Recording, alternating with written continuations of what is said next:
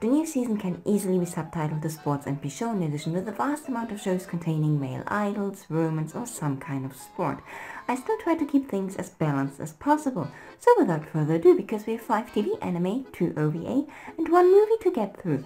My name is Kristin, this is Hamstaku and here are the ones I'm most excited about for summer 2016. 嬉しい美味しいだよはいいただきます Remember when I believed Kuma Miko would be a heartwarming comedy? Well, I was wrong. Let's try this again with Sweetness and Lightning. Sweetness and Lightning is the story of a single father, his daughter and their love for food. Unfortunately, Kohei is completely useless when it comes to cooking, leading them to living mostly off of pre-made meals. One night, Tsumugi and Kohei end up visiting a restaurant which is owned by the parents of one of his students. He finds out that Kotori's parents are divorced and for one reason or another they decide to continue to meet and learn how to prepare yummy food. What I find most interesting about the show is that it's the story of a single father. Being a single parent is tough no matter what, but I feel like being a single mother is still more acknowledged in society for various reasons. With this in mind, I appreciate that the show is tackling this very important and recent issue, but still seems to manage a light-hearted tone, which is always the best way to make a difficult topic more approachable. I would find it a shame if the single father plot has only been chosen to pull off a joke about men being unable to do household stuff, because that would only reinforce gender stereotypes. I also appreciate that the character of the daughter will be voiced by Rina Endo, who will be joined by more kids further down the line. Especially for young children, I find child actors a lot more pleasant to listen to. Judging from a preview event, the three lead actors already have great chemistry. If you want to watch Sweetness and Lightning too, you can do so on Crunchyroll starting on the 5th of July. Moving from one kind of family story to a slightly different one. 何もかも狂ってしまったあの夜に91 Days is a crime story set in America during the 1920s Prohibition, in which the family of our main character, Avilio, is assassinated by a rival mafia clan. Years later, we follow along as he plots his revenge. I'm excited for 91 Days for the same reasons I've been excited for Showa Genroku Rakugo Shinju and Joker Game. I like period settings.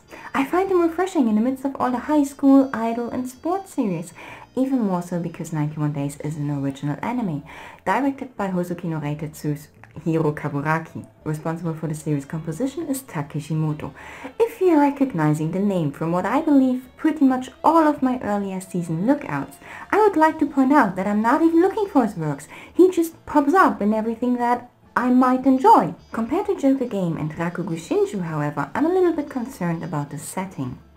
The former ones were set in Japan, revolving around the Japanese value system and its advantages and disadvantages. Writing something outside of what you are familiar with requires extensive amounts of research, especially if it's supposed to be a bit more realistic setting than let's say for example Baccano. Speaking of which, just like Baccano, 91 Days might actually make more sense to watch in English rather than in Japanese should the dub be any good. I talk about Japanese voice actors a lot and 91 Days cast has quite a few actors in it I like. That doesn't mean I'm against English dubs on principle. They just don't have to make me cringe. 91 Days has been licensed by Crunchyroll as well and will be available on the service starting on the 8th of July. Let's go back to a lighter topic, shall we?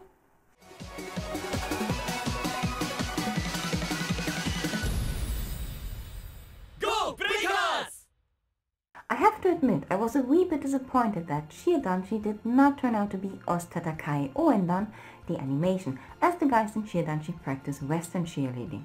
I assume the original novel by Ryo Asai was somewhat influenced by the success of the first Japanese all-male cheer squad called Shockers who got quite a bit of attention a few years ago.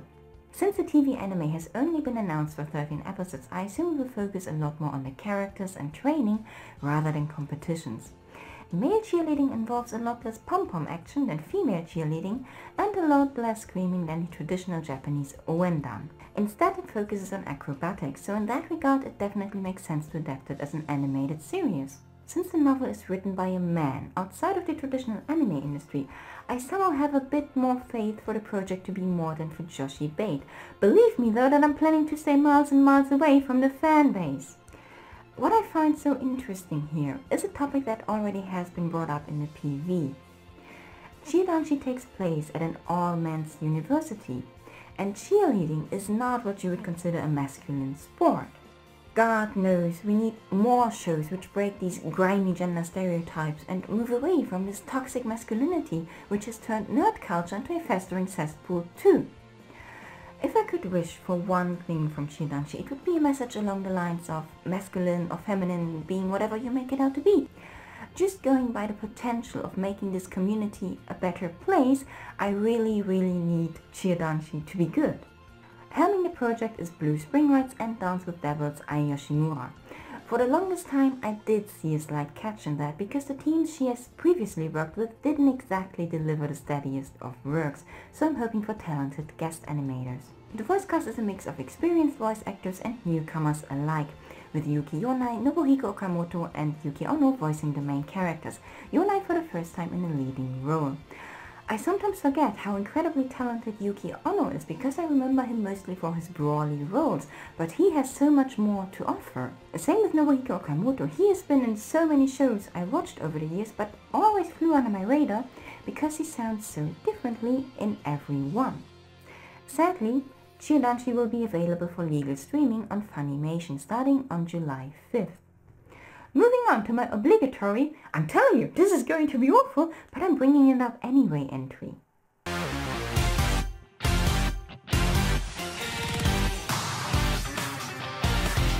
I'm actually a bit embarrassed that this might be the show I'm looking forward to the most, but hear me out.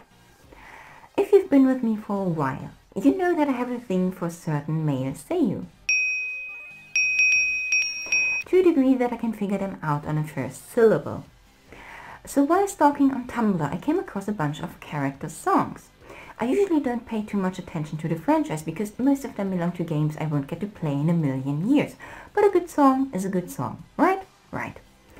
So when I did my research for this video, I pretty much flipped my shit when I found out that this is the same franchise I saw on Tumblr and have been on board with TsukiUta the animation ever since. In TsukiUta we are following two male idol units, each of the 12 characters representing one of the 12 calendar months. And it is interesting from a Western perspective because it is based on a drama CD series. Each CD tells a new chapter. Every chapter comes with a different character's song and is therefore also told from a different perspective. The entire drama CD industry is fascinating from a Western perspective because I can't help but feel that this concept wouldn't fly in the West anymore. TsukiUta was the first project for which the agency Tsuki Pro brought well-known Vocaloid composers and talented seiyuu together, and the cast list does read a little bit like my own personal singing seiyuu wish list. Since TsukiUta, the agency has started various fictional idol units because the concept of taking currently popular voice actors and having them sing songs seems to be quite lucrative. Will this even work out as a TV anime? Meh, I have my doubts. The dancing sequences have been shown in the PV. They are CG animated, so there is that. Though even ghastly CG might be better than everything is done. I guess I would be happy if they managed to whip up a simple, self-aware and fun story combined with halfway decent songs. Judging from nothing but the cast list, this is the kind of project I have been waiting for. TsukiUta has been licensed by Funimation and will start airing on the 6th of July. Another thing you might know about me if you have been with me for a while is that I quite like Natsume Yuujincho. While the next show isn't Natsume Yuujincho, it has yokai too.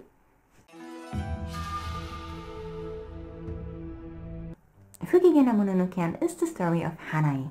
On his first day of high school, he steps on the tail of this fluffy little yokai furball, who understandably is upset about that and possesses Hanae. He hopes to get rid of it with the help of a Mononokean who happens to attend his school. I have to say the PV was a little bit disappointing. Every scene that does not contain yokai or spirits seems a bit generic and rather mundane, like the entire world is one giant stock model. I hope that the show manages to make up for animation that's a bit rough around the edges with enchanting little stories. After all, Japanese folklore is so multifaceted that there should be enough material to come up with something creative. The Tiny Yokai had me on board from minute one, and if the show takes a more comedic turn than Natsume Yuujincho, then I'm more than fine with that. Fukigen Mononokean will be available for legal streaming on Crunchyroll starting on July 3rd. Moving on to a fantasy setting that couldn't be farther away from a stock model.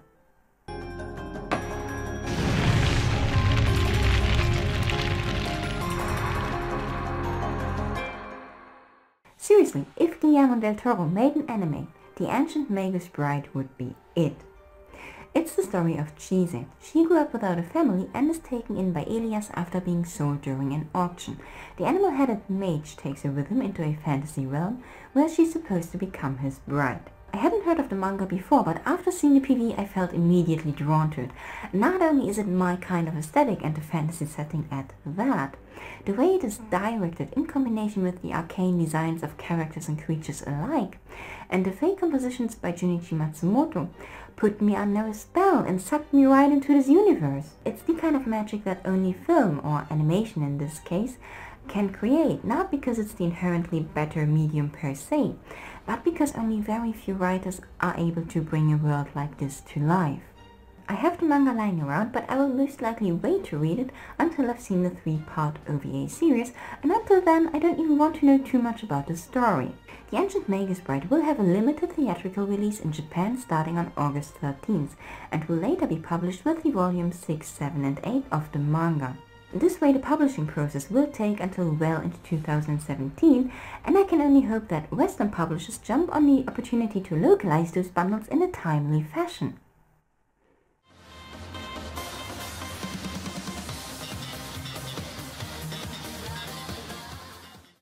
I'm throwing in the next OVA more to give a quick warning. The issues 21 and 22 of the Akatsuki no Yona manga will be bundled with two OVA episodes adapting Zeno's backstory. If you haven't read the manga up to that point, I urge you not to watch them. You were okay watching the first OVA episode because it adapted a bonus chapter, a filler if you like, Nice to have, but not really necessary. Everything that happens between the end of season 1 and those two OVA episodes peaks in Zeno's backstory, and I highly doubt that it would have any kind of impact on you if you're missing the content of about 50 chapters, each around 30 pages long. Zeno's backstory is beautiful and pretty much answers all of the questions you might still have. But to you, he is still a stranger because you've spent about 15 minutes with him. The decision to adapt Zeno's arc separately appears nonsensical to me too, and it's pretty much a death sentence to all hope to a second season. So all I can say right now is catch up to the manga until August 19th or stay as far away from it as you can. And finally, my animated movie highlight of 2016. お前が世界のどこにいても必ず会いに行くってあなたは誰お前は 誰だ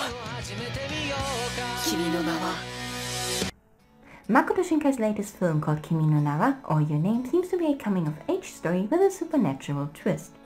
The two protagonists, a boy and a girl called Taki and Mitsuha, live fairly different lives. Taki in Tokyo and Mitsuha on the countryside, and they have never met each other in real life, only in dreams. Sooner or later they have to find out that those dreams have a much bigger impact than they would have expected.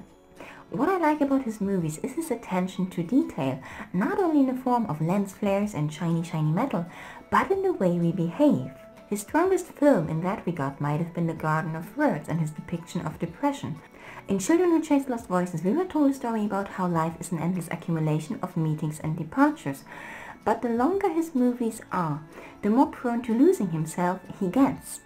All of his movies so far were solid, and while some might resonate more with me than others, I can't help but feel that his writing can never quite keep up with his stunning photorealistic animation. He is definitely on the right path, and all he needs right now is an extra push. Maybe he's gotten it for Kimi no Na wa. Your Name has celebrated its world premiere this weekend at Anime Expo in Los Angeles before its theatrical release in Japan on the 26th of August. So if some of you lucky bastards have already seen it, know that I'm quite jealous of you. So much for a regular uploading schedule, huh? I have scripts lying around, I just need to get off my ass and film them. So if you have faith that I can get back on track, then don't forget to subscribe and I'll see you next time.